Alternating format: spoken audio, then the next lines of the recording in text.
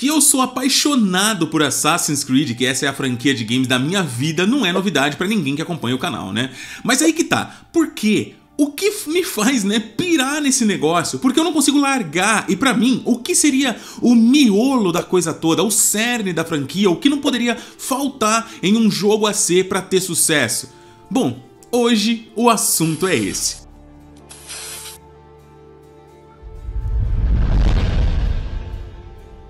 Fala fiotes, eu sou o Kalil e você está no Gamer Liu Game. Seja muito bem-vindo mais uma vez. Muito obrigado pelo seu carinho, pela sua presença. Ter você aqui é muita alegria para mim. Obrigado, de verdade, tá? Eu não tenho como pagar. Galera, é o seguinte, hoje, como vocês já viram, é um vídeo um pouco diferente, né? Um vídeo de opinião pessoal, tal. E sempre que lança, né, um jogo Assassins, eu tenho visto que a começar de mim, né? A gente reclama de uma ou outra coisa, tal, é uma mecânica ou outra que acaba faltando, um detalhe ou outro que a gente queria e o jogo novo não vai ter, esse tipo de coisa.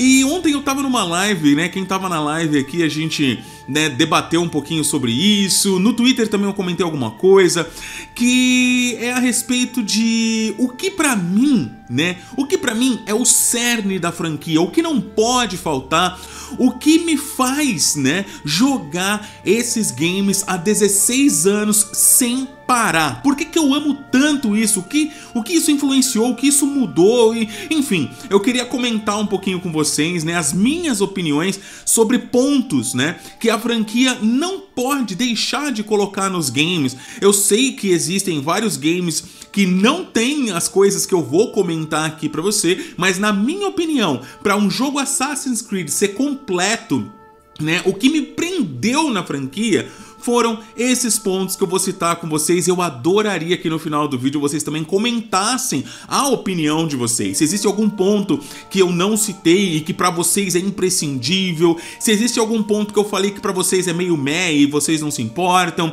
eu quero saber pra gente poder debater, beleza? Bora lá! A primeira coisa que eu acho imprescindível e não pode faltar em nenhum jogo da franquia na qual me conquistou, né, nesses anos todos, é a lore da própria franquia, tá ligado? Eu sei que ultimamente a empresa ela tem focado muito nesse lance de colocar muitos elementos mitológicos tal.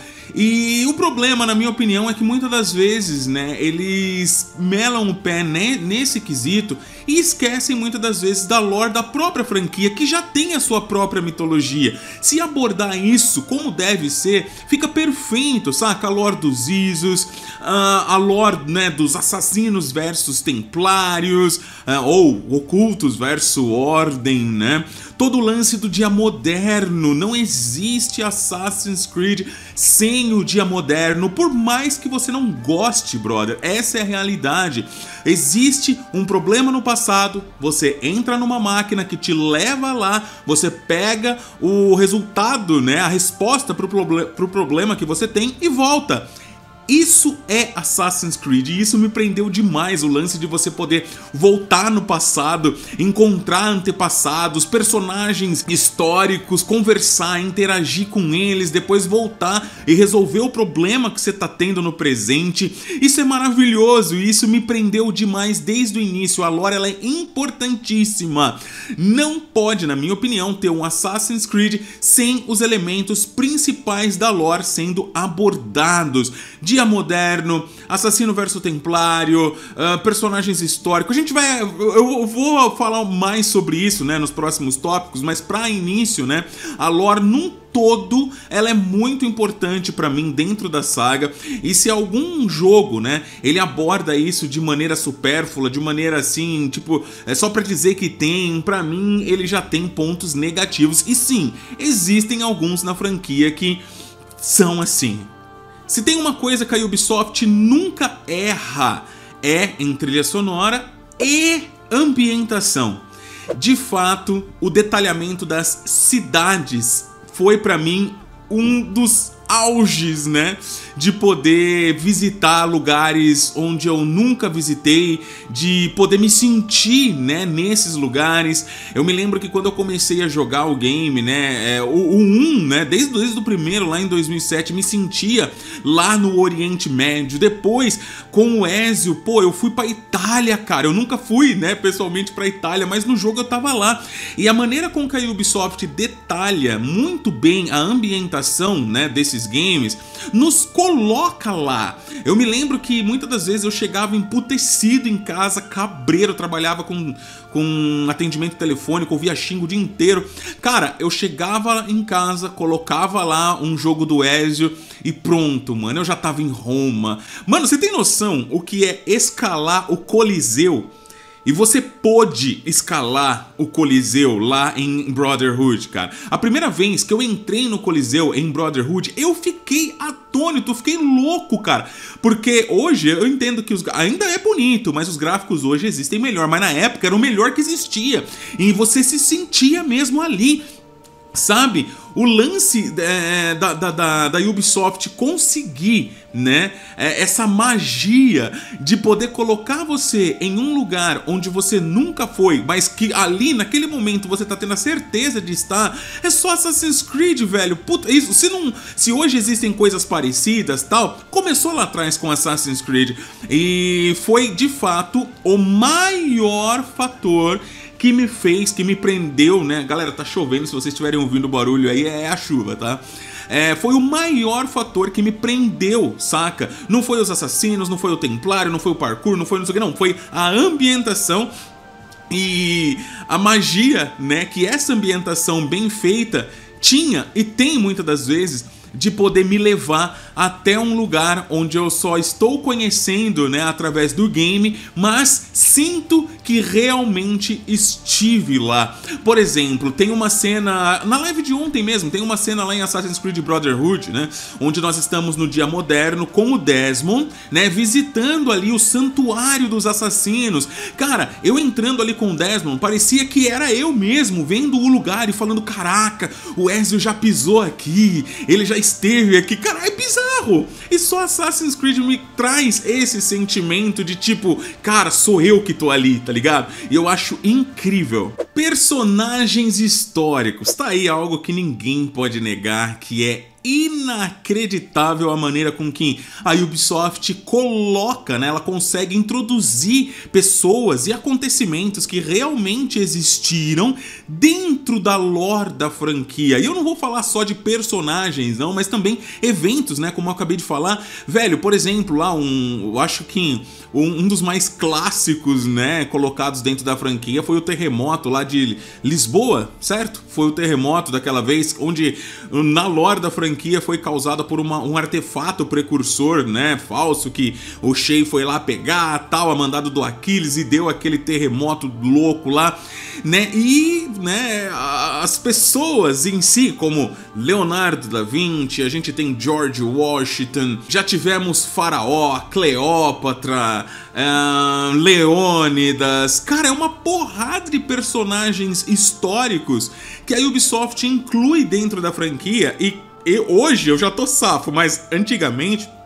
quando eu comecei a jogar, né, eu jogava, né, jogava com a internet aberta para procurar informações, né, imagens e documentos que me provassem, né, que aquilo não aconteceu daquele jeito, porque na minha cabecinha, né, eu acreditava que as coisas estavam acontecendo, aconteceram realmente da maneira que o jogo dizia.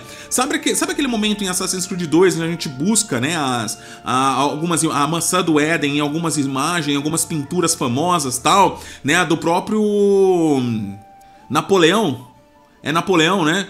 Que ele tá com a mão no bolso, assim, tal, e a maçã tá lá dentro. Eu fui procurar se a imagem era daquele jeito mesmo, tal. Porque a maneira com que é feita é tão caprichada que realmente, se você não tá atento, você acaba acreditando que o negócio aconteceu daquele jeito, né? Então eu acho muito legal, e eu, na minha, na minha opinião, né? Acho muito legal que todos os jogos da franquia tenham esse tipo de coisa Saca? Isso para mim faz parte do cerne, do núcleo, do miolo da franquia, saca? É, se, se você jogar um game da franquia que não tenha nenhum elemento histórico, tem alguma coisa errada aí.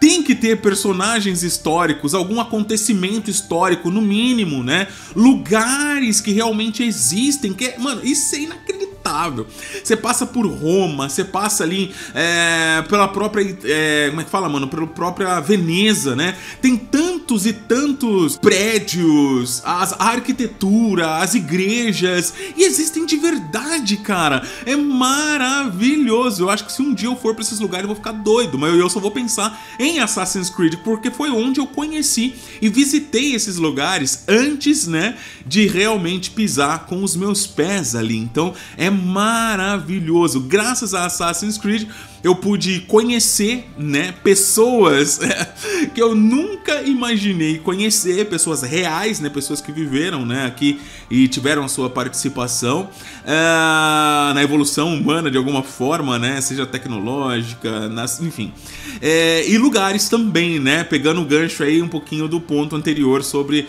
a ambientação. Então assim é muito legal e isso para mim não pode faltar. Cara, eu sei que isso muitas das vezes, né, coloca a galera em debate, em discussão, e o que eu mais ouço falar é: "Ah, nem todo Assassin's Creed precisa ter assassino, nem todo Assassin's Creed precisa ter templário". Desculpe. Pra mim precisa, tá? Pra mim precisa. Eu acho, eu gostei, eu, é, é, magnífico o Odyssey, é magnífico o Valhalla, é, mas cara, aquele gostinho de faltou alguma coisa para mim ainda fica, saca? Se não tiver assassino versus templário, uma trama, né, entre eles ali, se não tiver oculto versus ordem, mano, para mim tá alguma coisa errada, cara. Você pode não concordar com isso, fica à vontade vontade para falar o que você quiser nos comentários. Ninguém vai te punir, bloquear ou algo do tipo. É sua opinião e essa aqui é a minha. Para mim, um jogo de Assassin's Creed sem assassino, sem templário, não é um jogo Assassin's Creed, cara. Falta alguma coisa, tá ligado? Falta alguma coisa. Como que um jogo da franquia Assassin's Creed não tem o cerne, o, o, o, a cereja do bolo, cara? Que sempre existiu, que é assassino versus templário né? Que é oculto versus ordem, não importa. Essas duas, essas, esses dois, é, como é que fala? É, é, esses dois pontos, né? Colidindo, tem que existir, cara. Tem que existir. Senão, você pode colocar qualquer nome de qualquer outra coisa. Por exemplo, um Ghost of Tsushima não tem assassino versus templário. Do resto, ele é total Assassin's Creed, né? Então, assim, se não tem, não é Assassin's. Desculpa, tô sendo assim o mais pra mim. Não adianta eu ficar mascarando, não adianta eu ficar tentando agradar você ou outro que, pra mim, precisa ter assassino, precisa ter templário. Ou oculto ou ordem. Precisa. Precisa ter os caras lá vestido com capuz e não sei o que. É, e precisa ter os malucos lá querendo dominar o mundo. Tem que ter isso aí saca? Jogo que, como eu falei, que não tem, pra mim fica faltando alguma coisa. Como eu falei, eu me diverti demais em Odyssey, mas aquilo para mim é um jogo grego. É um jogo contando a história e mitologia grega, né? É um Immortal Phoenix Rising mais bonitinho. E o Valhalla para mim é um jogo viking. É importante para lore da franquia? É. Já disse isso trocentas vezes mas para mim são os dois Assassins mais descartáveis, né, para quem gosta das coisas que foram introduzidas para Assassin's Creed, tá? É, só não é 100% descartável para mim, porque ele tem, obviamente, a sua importância gigantesca dentro da lore da fran... pra lore da franquia, né? Mas sobre ali o lance de, de me sentir jogando um Assassin's Creed, uh -uh, senti não.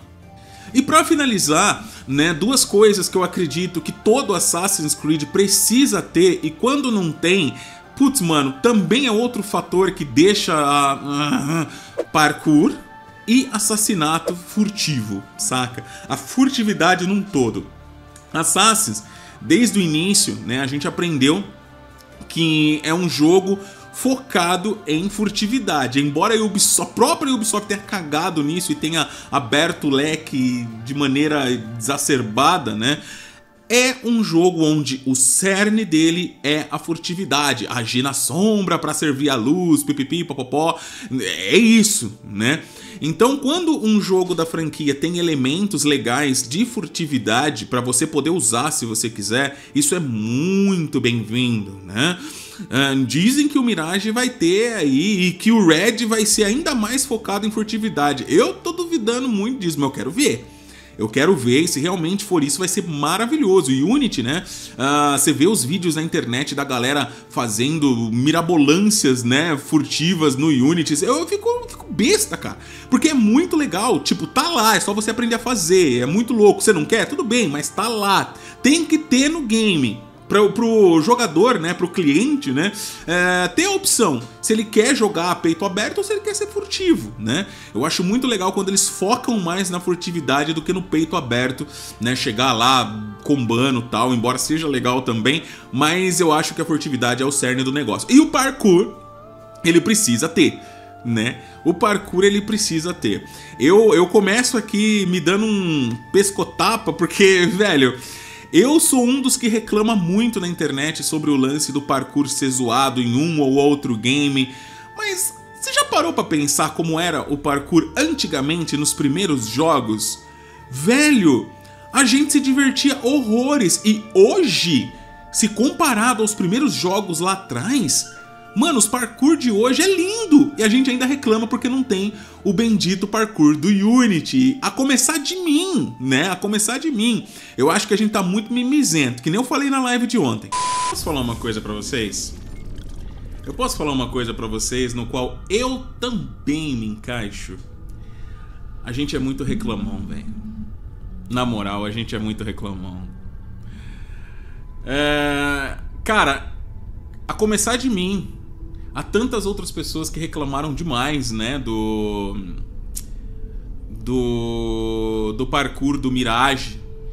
Mano, mas olha só o tipo de parkour que a gente faz aqui no 2 e a gente se diverte pra caramba.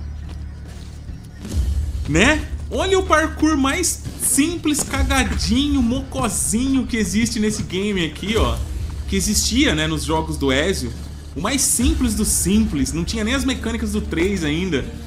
E a gente se divertia pra caramba, velho. A gente se divertia pra caramba. E hoje a gente fica de mimimi. A começar de mim mesmo. E hoje a gente fica de mimimi porque não é o parkour do Unity. Ah, vai a merda, seus mimizento. A começar de mim. não é verdade, galera? A gente reclama muito à toa, velho. Olha, um jogo desse aqui, olha o parkour mais porco que tinha. E a gente se divertia pra caramba. E hoje, jogando de novo, a gente se diverte a rodo, né? Pô, e o Mirage tá 100 anos luz mais da hora que esse game que a gente tá jogando. E a gente fica de mimimi. Ah, tomar no banho, vocês tudo, barra eu. Todavia, né? Tem que ter parkour. Seja ele um parkour sim, a questão é essa aqui. Seja ele um parkour simplesinho ou um parkour ultra blá blá blá que nem o do Unity, tem que ter parkour, independente de como for, né? Eu acho que esse lance de escalada, escalada, escalada já deu, tá? Já deu. Então, por mais simples que seja, que, que, que, o cenário ele seja construído para o jogador fazer o seu parkour, por mais simples que seja. Seja o parkour simplesão lá da saga Ezio ou o parkour ultra lindo do Unity, não importa. Tenha parkour nos games. Galera, essa é a minha visão do que me prendeu do que me prendeu e me prende, né, até hoje na franquia, tá? São os pontos que para mim são os mais importantes e os pontos que eu mais amo dentro da franquia Assassin's Creed e que para mim não podem faltar. É por conta desses pontinhos que eu comentei com vocês que eu jogo Assassin's Creed há 16 anos. Um jogo ou outro, né? Não tem um desses pontos ou dois ou três desses pontos, tal, mas os outros acabam sendo tão fortes a ponto de eu continuar. E existem outros também que são bem ruizinhos, tá? Mas é o que tem e como eu gosto muito de lore, eu vou atrás, né, pra gente poder não ficar de fora, né? Então a gente acaba jogando também.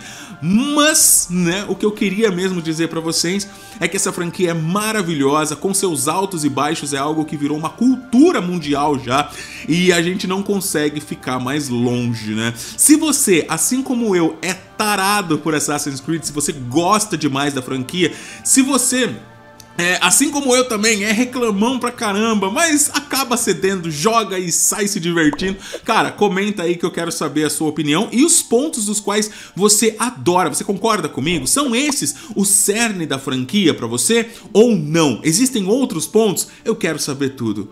Beijo no seu coração, obrigado por ter assistido até aqui. Tchau, tchau.